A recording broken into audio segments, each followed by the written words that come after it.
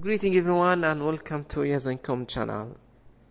If you are new to this channel, please don't forget to subscribe so you will receive our latest videos on different lab testing, procedures, methods and many more. Our topic today will be about one of the most annoying bacteria that exists in the oil and gas industry, SRB, sulfate reducing bacteria. Without wasting further time, let's learn something about SRB. Sulfate reducing bacteria are bacteria that can obtain energy by oxidizing organic compounds or molecular hydrogen while reducing sulfate to hydrogen sulfide. The SRB are anaerobic bacteria. They do not require oxygen to exist and multiply. They live on sulfur.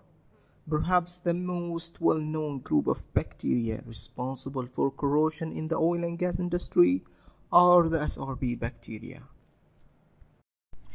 In this video, we will talk about the dilution series for reduction of SRB bacteria. First, arrange the selected media vials into a dilution series. The selected media should approximate the condition of the temperature TDS of the sample of water being tested. Wipe the rubber caps of the media vials with sterile alcohol pads. Using a sterile disposal syringe, withdraw 1 ml of the sample and inject it into bottle number 1 and discard the syringe. Mix the content thoroughly by vigorously shaking the vial. Some bubbles may appear and this is normal. Make sure to note down the change in the vial that may cause a false positive.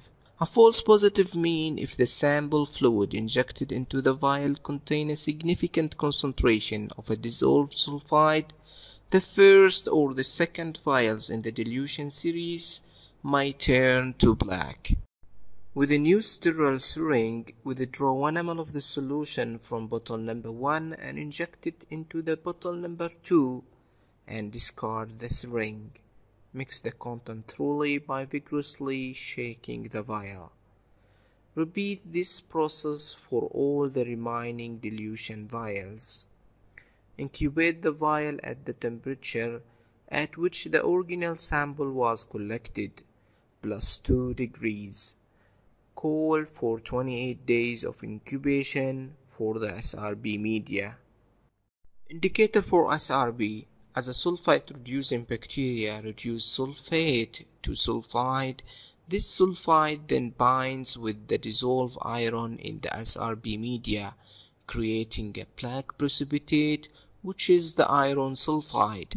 This black precipitate indicate that the vials is positive for SRB bacteria growth. Record the number of the positive vials. Here we reach to the end of today's video. If you would like to receive our latest video, don't forget to subscribe to our channel.